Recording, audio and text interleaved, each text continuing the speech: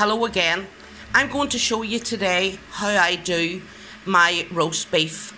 Now, we would have turkey traditionally on Christmas Day, but I understand that a lot of people um, have alternatives. We would have roast beef at some time during the festive season. So I have a four pound sirloin joint here.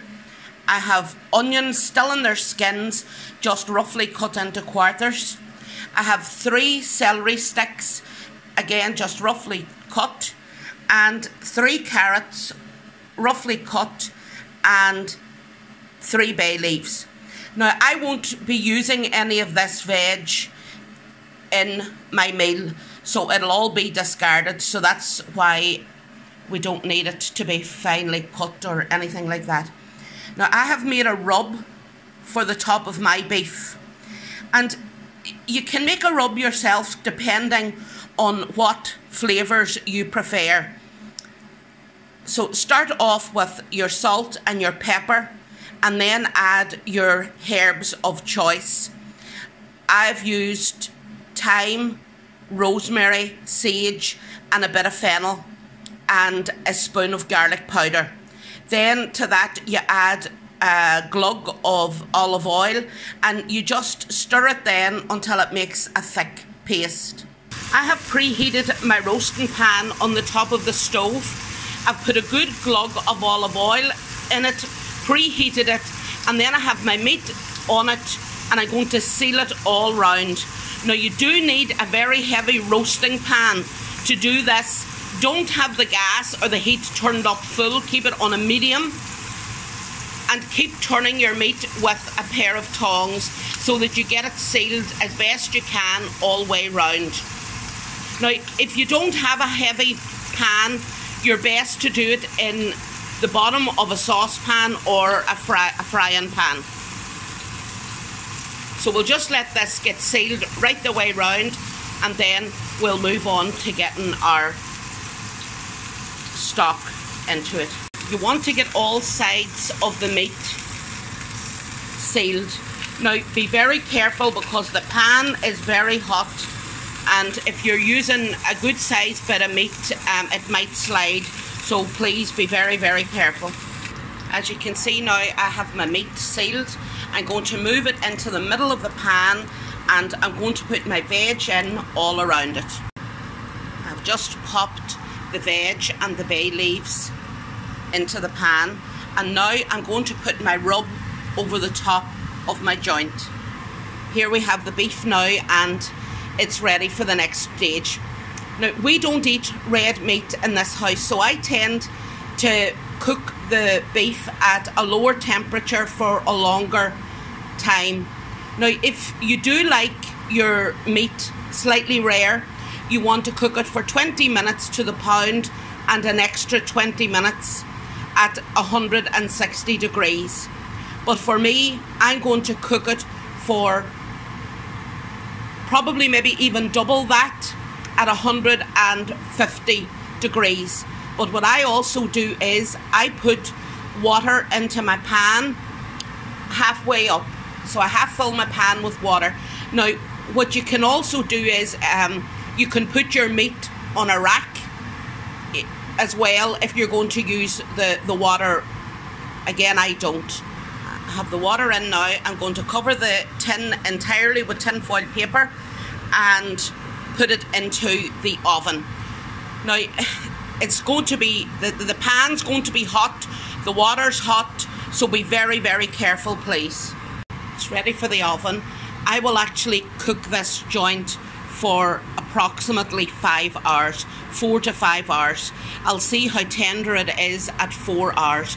But now I have to say again, this is because we don't eat red meat, so your cooking time would be much less if you do like your meat to be slightly rare. I've peeled a few potatoes, I'm going to steam them now and then I'll roast them whenever the meat's just finishing up its last hour. I have my potatoes parboiled in just an ordinary freezer bag.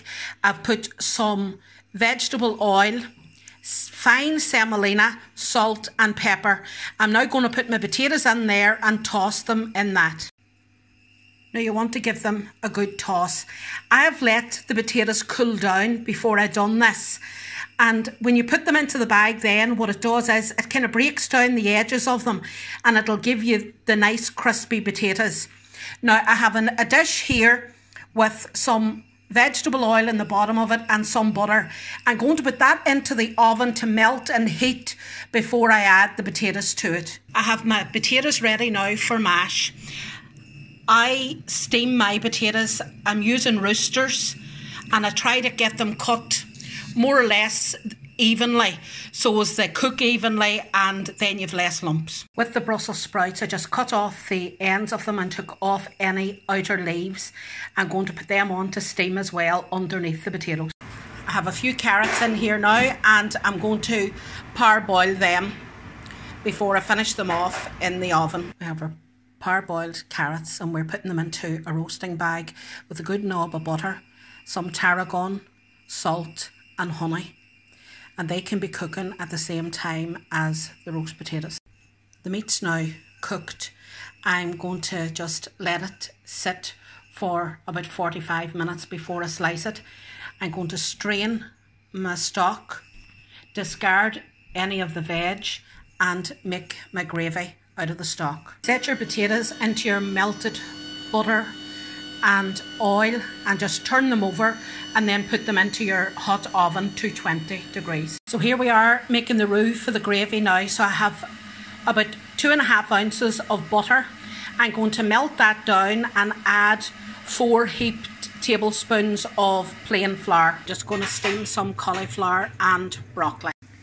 The roux is ready, so I'm going to put the gravy back on to heat again with two beef stock cubes and then we'll add the roux. Here we have our ingredients now for Yorkshire puddings. Milk, eggs, flour, salt and some virgin olive oil.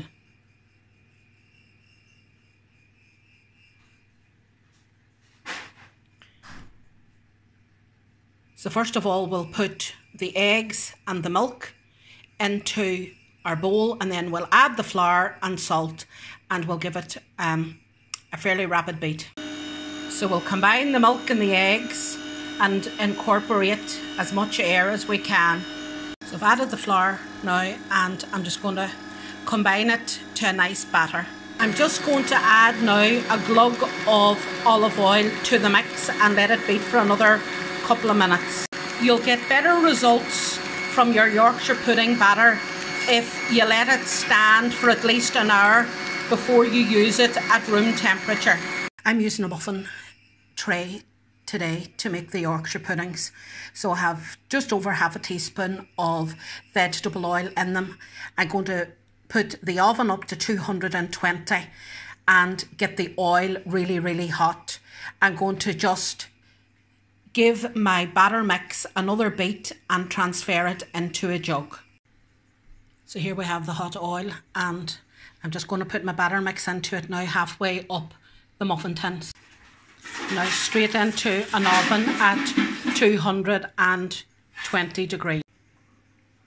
Yorkshire puddings just out of the oven.